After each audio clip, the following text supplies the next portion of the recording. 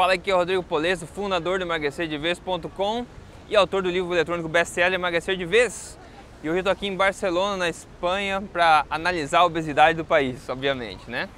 Então é o seguinte, eu quero comentar que os números de obesidade na, na, na Espanha são os maiores do mundo. Inclusive, a questão das crianças e adolescentes, aqui 40% das crianças e adolescentes são acima do peso ou obeso, 40%, é um número bastante grande.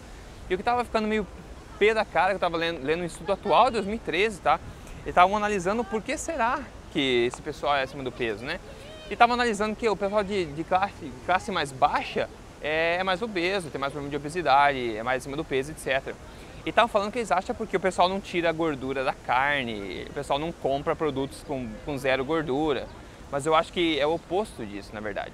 Eu, a minha teoria é que a classe baixa é mais obesa porque elas compram é, alimentos mais baratos, mais acessíveis, que são os carboidratos simples, né? É pão, massa, arroz, tudo isso é mais barato. Então a minha, a minha teoria, a teoria de muita gente aí, é que eles comem mais esse tipo de alimento ao invés de comer é, legumes frescos, né? Comer fruta que seja, é, é proteína animal, ovos. Então essa é a minha teoria. Não é porque eles não tiram a gordura da carne, não. Tá? A gordura da carne, como eu sempre costumo dizer, a gordura dos ovos, etc., é muito saudável.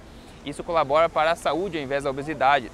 A minha teoria é que eles, comem, eles são mais obesos porque eles compram mais produtos mais baratos, mais acessíveis, que são os carboidratos simples que comprovadamente engordam e causam obesidade, causam problemas cardíacos, etc. Tudo que a gente tanto fala no site, ok? Então tá o calor danado hoje aqui, eu vou continuar andando por aqui. Eu espero que essa informação tenha sido útil, tá, para analisar. A questão dos carboidratos, sim, necessita de uma atenção.